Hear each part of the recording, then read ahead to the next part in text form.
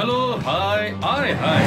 मैं रवि बारोट फन रंग के चार चार समाचार में आप सभी का स्वागत करता हूँ। तो चलिए जानते हैं यार, देश और दुनिया के महत्व के समाचार, ओनली चार चार।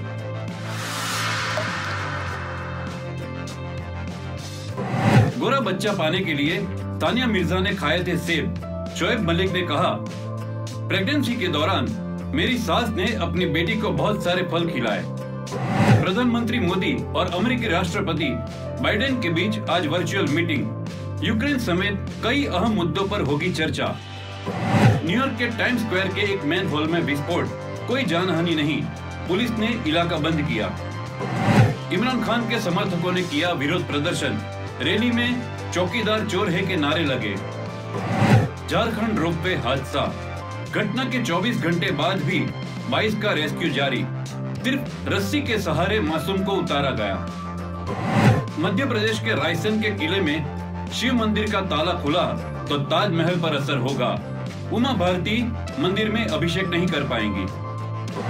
वर्ष 2005 से 2018 के बीच मुंबई, बेंगलुरु, कलकत्ता, चेन्नई, हैदराबाद, सूरत, पुणे और अहमदाबाद में वायु प्रदूषण ने ली एक लाख से ज़्यादा लोगों की जान।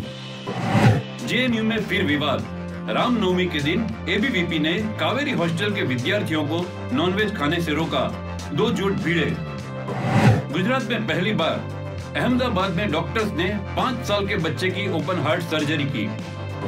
दहेज की ओम ऑर्गेनिक कंपनी में ब्लास्ट छह कामदारों की मौत, एक कामदार की खोज जारी।